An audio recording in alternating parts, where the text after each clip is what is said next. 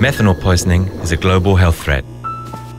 All over the world, it is added to illegal alcohol for profit reasons. The victims cannot see, smell, or taste the methanol in their drinks. Methanol causes delayed organ damage.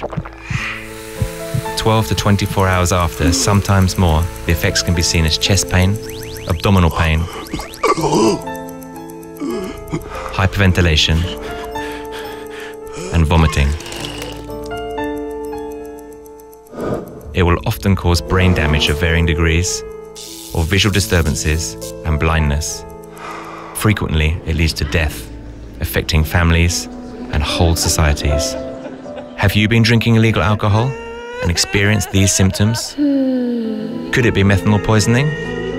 Methanol kills thousands globally, but most cases remain undocumented.